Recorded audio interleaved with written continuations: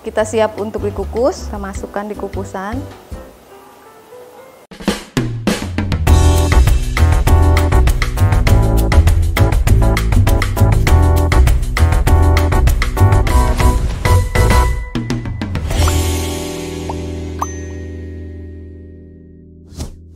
Teman-teman, ketemu lagi dengan saya Yuliana di Dapur Supra. Eh, Teman-teman, jangan lupa sebelumnya kita eh, subscribe dan klik loncengnya. Eh, sekarang hari ini saya akan memasak kue taklam yang dari ubi oren dan ubi ungu.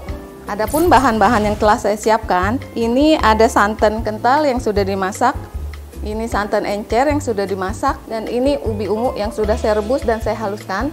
Ini ubi orange yang sudah saya rebus dan sudah dihaluskan. Ini sagu tani, yang ini eh, tepung beras, gula dan garam. Kita mulai dengan ubi ungu. Ubi ungu kita masukkan. Kita tambahkan santan encer sekitar 250 ml.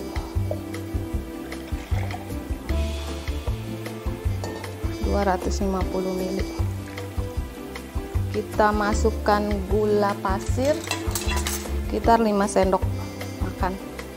Kita tambahkan garam dulu sedikit.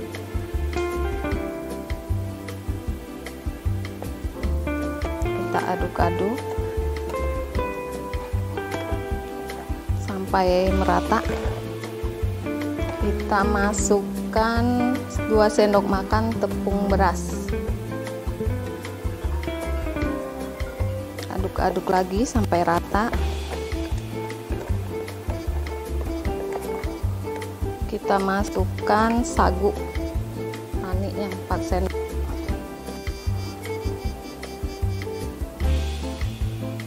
kita aduk-aduk lagi.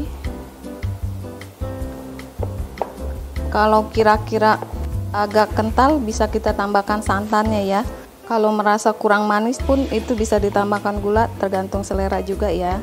Lebih enak kita gunakan whisk biar cepat. Kita aduk-aduk sampai rata ya. Kemudian setelah rata kita saring biar nanti halus kuenya. Jangan ada eh, sisa-sisa uh, ubinya atau serat-serat ubinya yang ketinggalan. Kemudian kita saring ya teman-teman. Kita saring dulu. Sedikit-sedikit dulu saring. Ya teman-teman setelah kita saring kental seperti ini bentuknya. Uh, kita sisihkan dulu. Kita mulai kita mulai lagi dengan yang kuning. Ini kita simpan dulu. Kita siapkan yang kuning. Ya teman-teman setelah kita saring bentuknya seperti ini kental. Dan kita sisihkan dulu. Sekarang kita siapkan yang ubi orange nya ya. Kita siapkan. Bahan-bahannya sama seperti yang tadi. Kita siapkan ini ubinya 250 gram. Kita pakaikan santan lagi.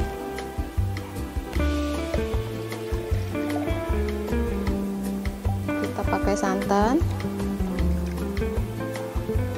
Kita tambahkan gula.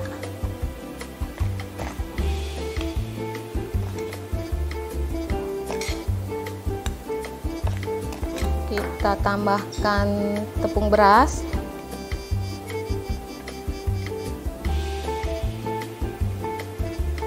kita tambahkan sagu.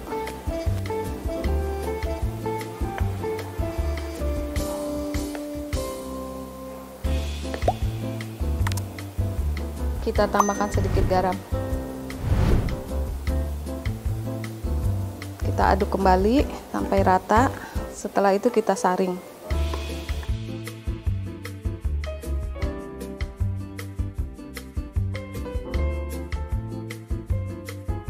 Ya teman-teman, ini sudah yang yang oranye kita udah saring, sudah kental seperti ini. Kita siapkan dengan adonan putihnya ya. Ini adonan putihnya saya sudah siapkan santan, santan kental. Terus kita masukkan satu sendok gula pasir, sedikit saja, jangan terlalu manis. Tambahin dikit. Masukkan gula pasir, kita masukkan satu sendok teh garam.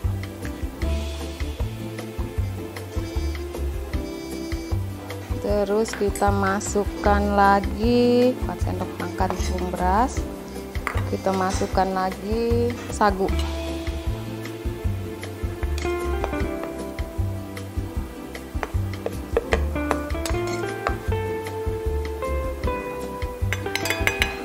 Kita aduk.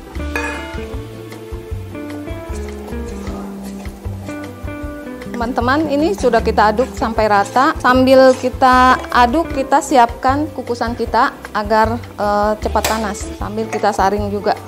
Ini fungsi nyaring supaya disaring supaya tidak menggumpal dan kuenya juga halus kelihatannya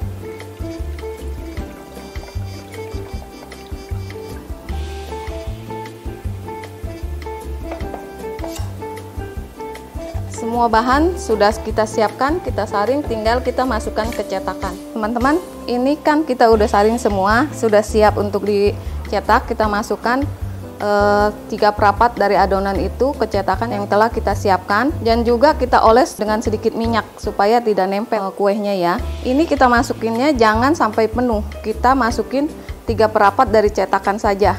Ini yang ungu dulu. Ya, teman-teman kuali kita, eh, kukusan kita juga sudah panas dan kita siapkan kuenya kita masukkan ke dalam kukusan. Teman-teman, ini kita udah isiin dengan eh, adonan yang warna ungu dan warna oranye. Kita siap untuk dikukus. Kita masukkan di kukusan.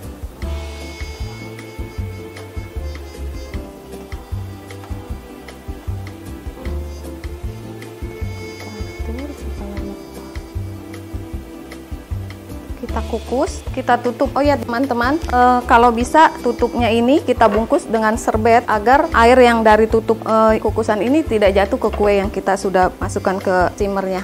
Kita tutup sampai kuenya setengah matang, kira-kira 5 menit. Ya teman-teman, setelah kita lihat ini udah bisa kita masukkan dengan adonan yang putih. Kita masukkan adonan putih. Kita kecilkan dulu apinya biar jangan terlalu panas.